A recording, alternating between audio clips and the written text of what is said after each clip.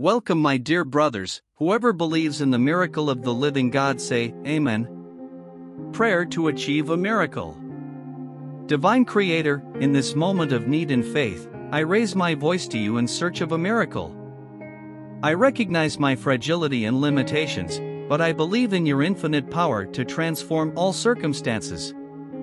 I humbly ask that you look at my situation with compassion and mercy. Grant me the strength and wisdom necessary to face the adversities that surround me. Open doors where there are obstacles, like my path in darkness, and pour out your grace upon me. May this miracle not only be for my benefit, but also for the glory of your divine will.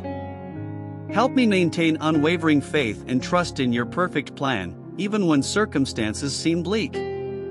With humility and gratitude, I surrender my worries and fears to you, trusting that, with your intervention, a miracle will manifest.